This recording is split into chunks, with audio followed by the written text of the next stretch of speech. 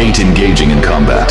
However, since you have figured out my true identity, I'm left with no other option but to eliminate you. You are nothing but a low-life serial killer. You are not worth the time it takes to end your existence.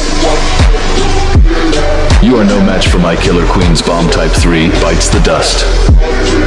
I'll end your life so fast that you won't even have time to say bites the dust. How unfortunate. It seems you were late by two steps. Before you die like the pathetic piece of dare you speak to me like that? Shut up, you pest. I wasn't done speaking. You will thank me for extinguishing you.